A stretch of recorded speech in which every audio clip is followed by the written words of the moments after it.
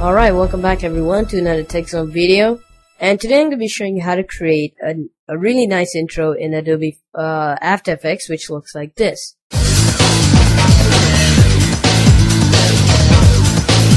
this was request requested by one of my subscribers. The name is on the screen.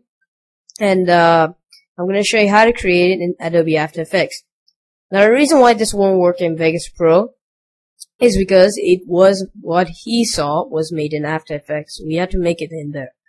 And to make it exactly like that, you'll have to pay for some plugins and it'll take like a really long time to make. So I'm gonna uh, show you a shorter version, which I showed you, showed you right now. So let's make a new composition. 10 seconds, uh, 30 frames per second if you like. Click OK. And you're gonna right click, new, solid.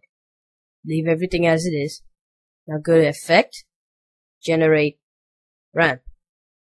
This will create a gradient background.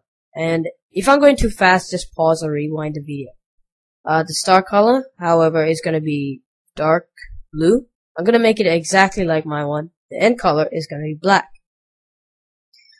Now, I'm going to go to New, Solid, and now we're going to make the particles. So go to Effect, uh, Simulation, CC Particle World. Now the grid is going to be off.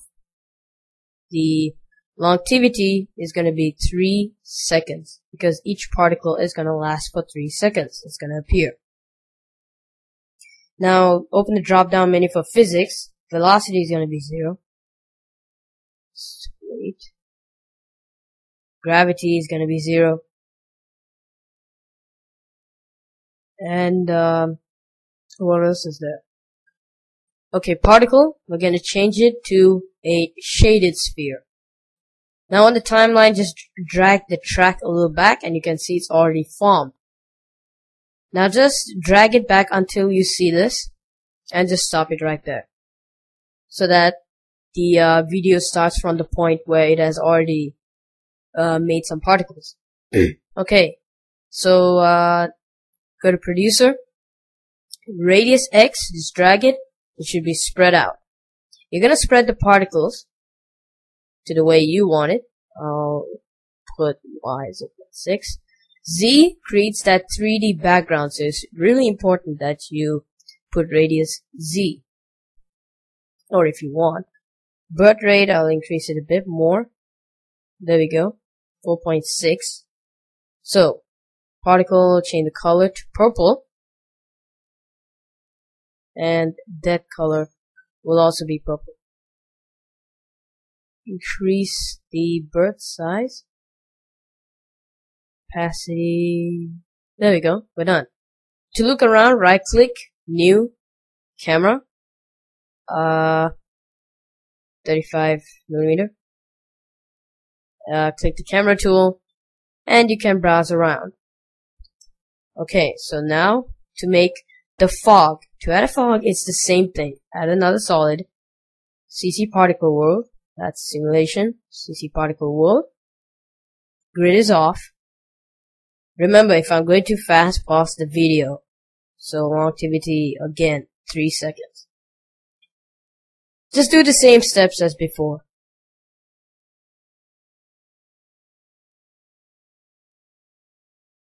Velocity. Okay? Particle this time is going to be faded sphere. And then, um, go back to producer and do the same thing. Although I can't really, oh yeah, you have to drag the track. There we go. So now we can see. Okay. So radius Y, radius Z. This time just put it a little bit so that you can put the fog either close together if you want. So back to particles, this time the birth size is gonna be pretty large. Like so. Uh, 3.4. Opacity is gonna be a little less. Okay, the fog looks ugly. Let's change the color. So, uh, yeah, that's about it. check the camera. I think I better increase the birth size of it. good. That's about it. Okay, that's good. Now we need to add the text. So, right click, new, text. Let's type in intro. And move that. Whoa, okay. Oh, make the text 3D. So, okay, we can move the camera. Now here's the important thing. If you want to get that, uh, orbit effect for the camera, this is what you're going to do. Open the drop, uh, double click on the camera. Zoom, just double click on it, and we're going to say it to 100 for the zoom. Click it. Now just see. So it's going to be like this now. It, this is one hell of a nice effect for your video. So, uh, really looks cool, but the text looks ugly. So, uh, click on the text layer. I'm just gonna zoom in a bit. And effect. Simulate oh wait. Sorry stylize glow. So before doing anything glow glow colors is gonna be A and B colors so you can put custom colors to it. Color A is gonna be purple. Color B same uh glow intensity I have to change that to radius that too. So we have pretty much created a nice looking intro. And let's uh, duplicate the layer, control C, control V. Let's move that up. Like after a few seconds, the camera moves up to move onto the second one. So let's check out the camera. Rotation tool. Okay, not that way. Okay, that's good. So, let's start from here. Camera, uh, transform. You're gonna set the timer for all these to add the keyframes. So it's gonna start from here. One second later, it's gonna go like this.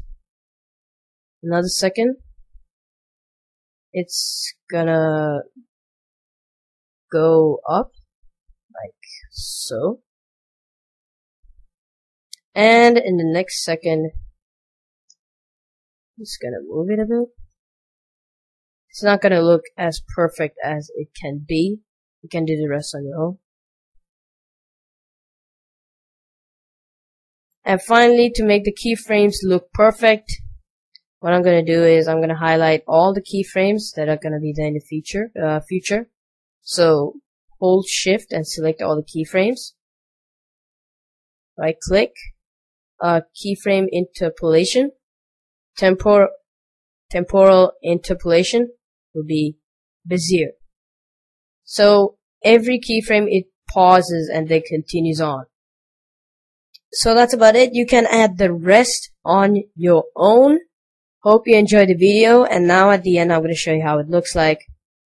So that's about it. Hope you enjoyed the video. If you did, want don't subscribe for more. So thanks for watching and have a great day.